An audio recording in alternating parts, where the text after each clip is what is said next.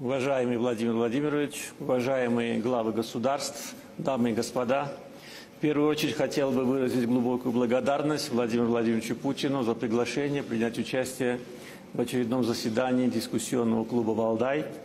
Хотел бы отметить, что в Азербайджане с большим интересом наблюдают за деятельностью клуба. Он трансформировался в одну из важнейших международных площадок, где обсуждаются актуальные вопросы современного мира – и э, даются рекомендации для углубления сотрудничества. Я с большим интересом слушал выступление Владимира Владимировича, с ним согласен во всем. Единственное, что он э, не сказал, говоря о э, ситуации, которая сложилась в России на рубеже тысячелетий, это то, что э, главным фактором того, что Россия с честью вышла из тяжелейших испытаний, является фактор Владимира Путина. Это правда, это должны знать все.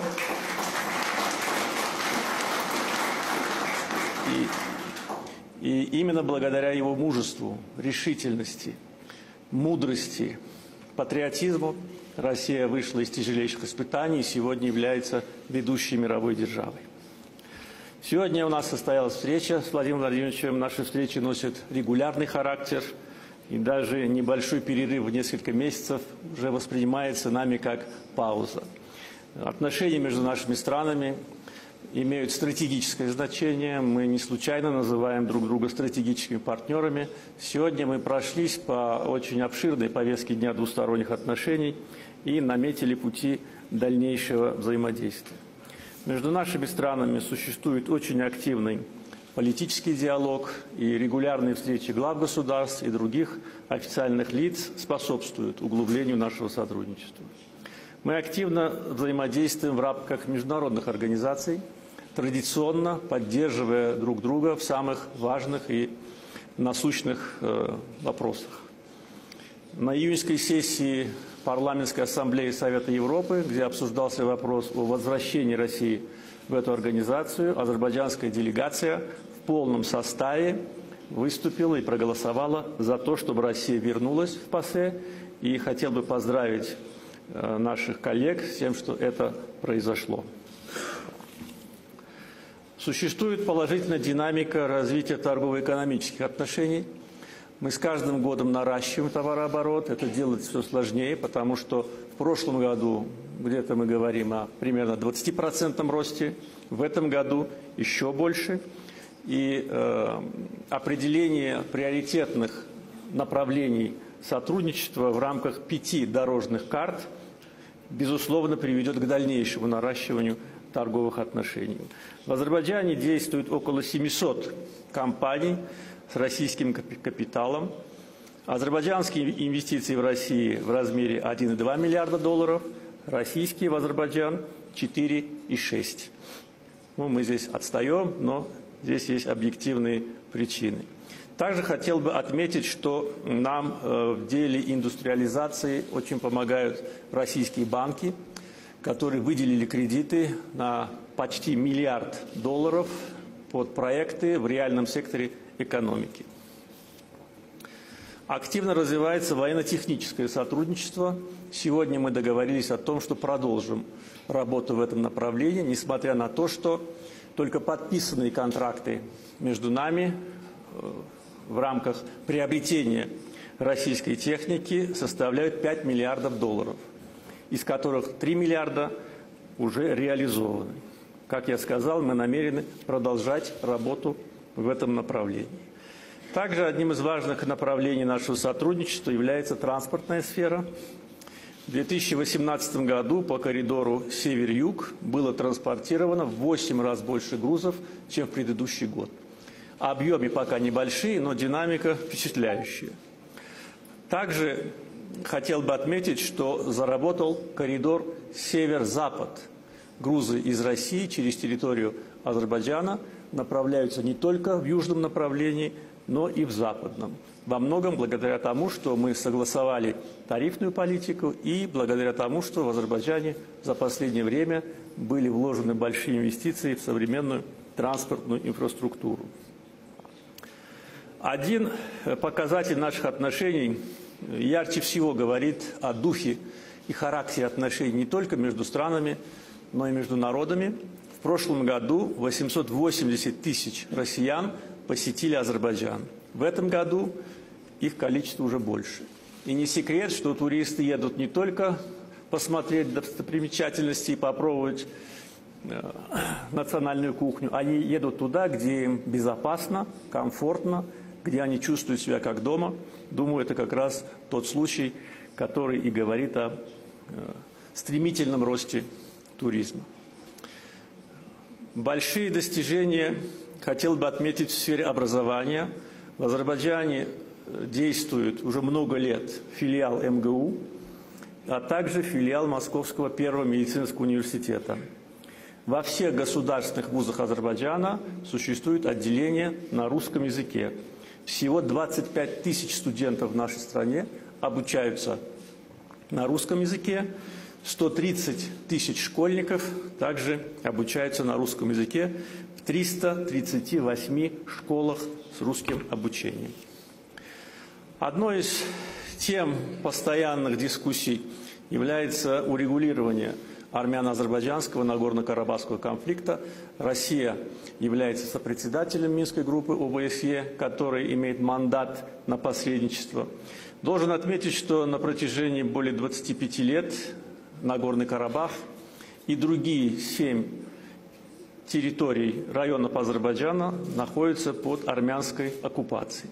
Нагорный Карабах – исконная азербайджанская земля. В советское время была создана Нагорно-Карабахская автономная область. Должен сказать, что э,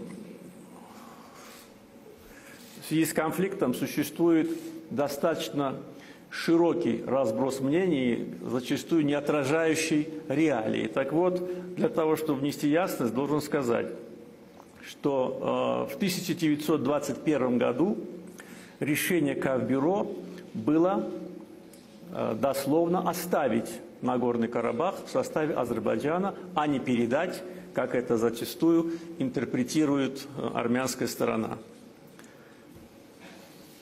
До начала конфликта в Нагорно-Карабахской автономной области Азербайджанской ССР проживало азербайджанское и армянское население в пропорции 25 на 75 процентов. В результате конфликта все азербайджанское население из Нагорного Карабаха, а также из семи других районов Азербайджана было изгнано. Иными словами, была проведена этническая чистка, и на сегодняшний день на оккупированных территориях – азербайджанского населения нет. И оккупированные территории, большая их часть – это выжженная, разрушенная земля, разрушенные дома, школы, э, общественные здания. В результате конфликта Азербайджан столкнулся с э, гуманитарной катастрофой. Более 700 вынужденных переселенцев из Нагорного Карабаха и других оккупированных территорий Азербайджана, плюс 250 азербайджанцев, которые были изгнаны со своих исторических земель на территории современной Армении. Совет Безопасности ООН принял четыре резолюции, в том числе резолюции, требующие немедленного и безоговорочного вывода армянских сил с оккупированных территорий. Более 25 лет они не выполняются. И тут мы подходим к важному вопросу имплементации принятых решений. Совет Безопасности ООН – высший международный орган – и если в течение более 25 лет решения, принятые Советом Безопасности, не выполняются, то это вызывает очень много вопросов об эффективности этой организации. Нас в Азербайджане беспокоит выборочный характер реализации, имплементации резолюций. Иной раз они выполняются в течение дней, иной раз они вообще не требуются для проведения определенных военных действий. В нашем же случае – Э, резолюции остаются на бумаге. Решение Нагорно-Карабахского армяно-азербайджанского конфликта должно быть в рамках территориальной целостности Азербайджана, принятой всем миром, устава ООН, резолюции Совета Безопасности ООН и Хельсинского заключительного акта. Должен сказать, что в последнее время премьер-министр Армении часто говорит, что решение конфликта должно быть приемлемо народу Азербайджана, народу Армении и народу Нагорного Карабаха. Так вот, должен сказать, что э, понятие народ Нагорного Карабаха не существует. Есть население Нагорного Карабаха, которое до конфликта состояло из азербайджанского и армянского населения, обладающего равными правами. Что касается того, какое решение приемлемо для Азербайджана, то оно заключается в восстановлении территориальной целостности Азербайджана, признанной всем миром, возврат беженцев и вынужденных переселенцев на свои исконные земли, в том числе и в Нагорный Карабах. Это соответствует резолюциям Совета Безопасности ООН и Хельсинскому заключительному акту. Должен сказать, что военная агрессия Армении против Азербайджана продолжается сегодня. Вчера армянским снайпером был убит мирный житель, житель Казахского района, находящегося вдали от зоны конфликта на границе Армении с Азербайджаном. Также должен сказать, что во время военной провокации в апреле 2016 года шесть мирных жителей Азербайджана, включая ребенка, девочку, были убиты. Также хотел бы коснуться вызывающего удивление заявления премьер-министра Армении – удивление не только в Азербайджане, но и соответствующая реакция была дана и со стороны Российской Федерации в рамках Валдайского форума. Так вот, заявление э, почти дословно. Карабах – часть Армении и точка. Ну, во-первых, это, мягко говоря, ложь. Карабах всем миром, равнинный, Нагорный, признан как неотъемлемая часть Азербайджана. Армения сама не признает это незаконное образование. Карабах является исторической, исконной азербайджанской земле, землей. Так что Карабах – это Азербайджан и восклицательный знак. Несмотря на оккупацию и гуманитарную катастрофу начала 90-х годов, когда каждый восьмой в нашей стране был беженцем, Азербайджан прошел большой путь развития, созидания.